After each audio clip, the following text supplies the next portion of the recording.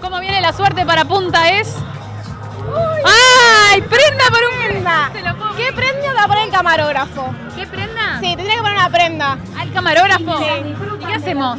Podés cantar si querés, o algo, puede ser que saltes, lo que vos quieras, algo físico o cantar. Salto, salto, salto, salto. Yo te ayudo si quieres. ¿Cómo tengo que saltar? Tres en un pie y tres en otro. Tres en un pie. Uno, dos, tres en otro.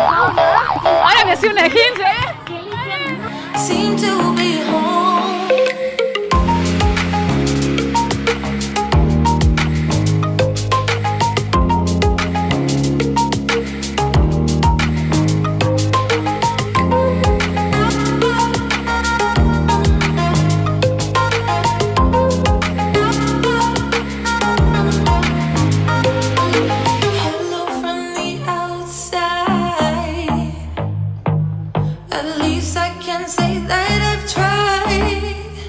Y las últimas Gracias por venir. Un placer Soy compartir con todos ustedes la audiencia. La verdad que es un placer de verdad porque es un trabajo punto, que lleva muchísimo esfuerzo, crochet, mucho tiempo de preparación. Y bueno, una fiesta de color, de alegría. Bueno, el body painting en realidad hace desde la prehistórica, desde los cavernícolas creo que ya se pintaban.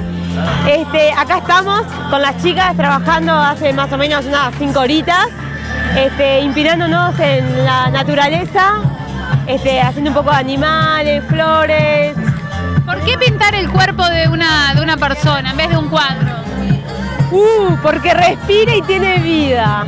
Es una de las cosas que, que amo de esta disciplina. Este, además también eh, existe una conexión con la modelo. O sea, hay sentimientos en la obra, no es una obra fría se muestra en una pared. Ella camina y muestra también lo que ella siente. Por eso digo que es 50% el maquillador, 50% la modelo. Con todo el diseño en pasarela, con danza flamenca, con todo el arte en vivo acá en diferentes técnicas divinas, como los podrán apreciando, porque la verdad que es hermoso. Hay, tanto que tatuajes, mandalas, body painting, cuadros, dibujos, realmente una fiesta de arte. Y además toda la música, ¿no? Dos bandas en vivo y el DJ Javier Misa. Oh.